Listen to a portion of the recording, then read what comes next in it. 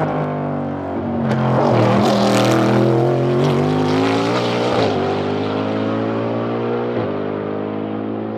ha ha!